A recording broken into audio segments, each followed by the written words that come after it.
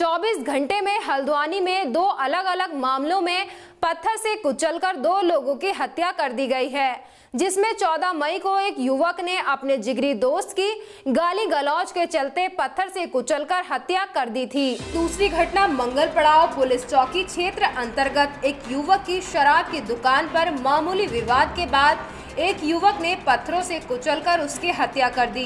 Police ने आरोपी को गिरफ़्तार कर आगे की कार्रवाई शुरू कर दी है। रविवार को इलाज के दौरान उसकी मौत हो गई। पूछताछ में मृतक के परिजनों ने बताया कि दीपा का दीपू से मामूली बात को लेकर झगड़ा हुआ था, जहाँ उसने उसको मारने की धमकी दी थी।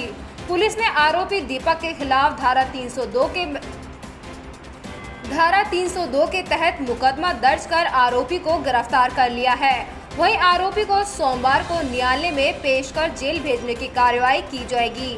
इस पर मृतक की बहन ने कहा कि मेरे भाई की हत्या तीन से चार लोगों ने मिलकर की है। इस मामले को लेकर पुलिस जुटी इस मामले को लेकर पुलिस जाँच में जुटी हुई है।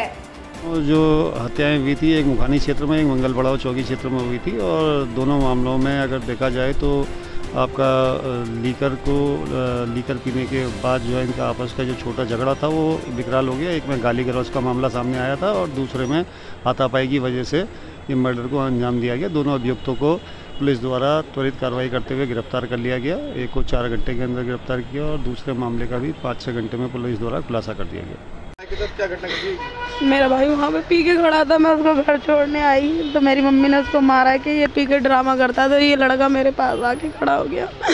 मेरे भाई ने इस लड़के से कहा, तू जा रहा है, नहीं जा रहा है, नहीं तुझे मारूँगा। तो इनने कहा, मार के दिखा। मैंने उस लड़के को डांटा कि, तू जा।